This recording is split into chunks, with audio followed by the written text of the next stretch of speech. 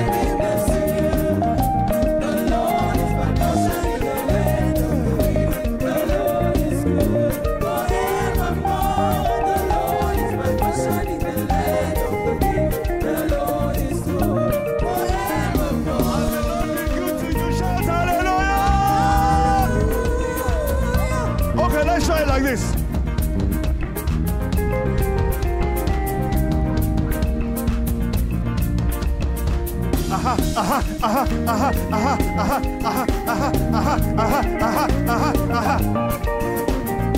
See you in the